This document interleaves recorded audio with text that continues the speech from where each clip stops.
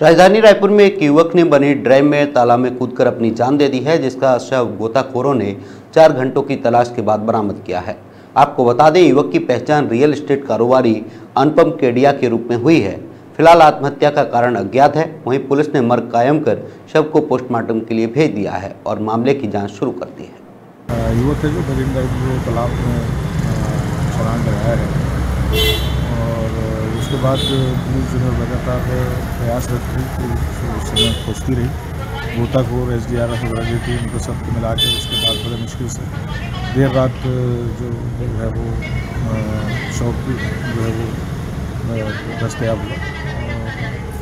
उसमें अनुपम केडिया करके एक चौंतीस पैंतीस वर्षीय व्यवसायी है। जिसके द्वारा ये आत्महत्या कार्य की गई